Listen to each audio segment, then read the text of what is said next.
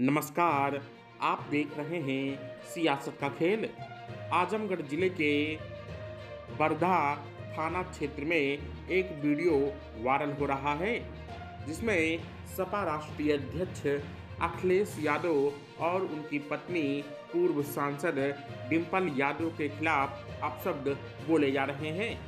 जैसे ही यह वीडियो पूर्व विधायक बेचई सरोज के पास पहुँचा तो तत्काल थाने पर उन्होंने जाकर युवक के खिलाफ प्रार्थना पत्र देकर कार्रवाई की मांग की है।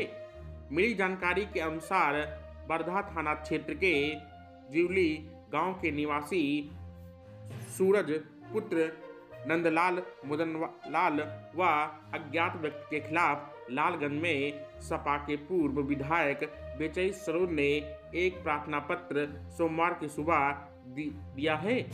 जिसमें यह आरोप लगाया गया है कि हमारे राष्ट्रीय अध्यक्ष अखिलेश यादव व पत्नी पूर्व सांसद डिम्पल यादव के खिलाफ अपशब्द का प्रयोग करते हुए गाली दिया जा रहा है, जो कतई बर्दाश्त नहीं है।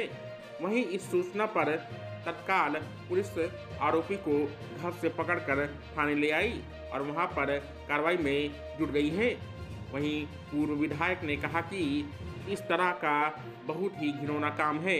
किसी भी नेता आम आदमी के खिलाफ इस तरह की टिप्पणी करना, गाली गलोच नहीं करना चाहिए।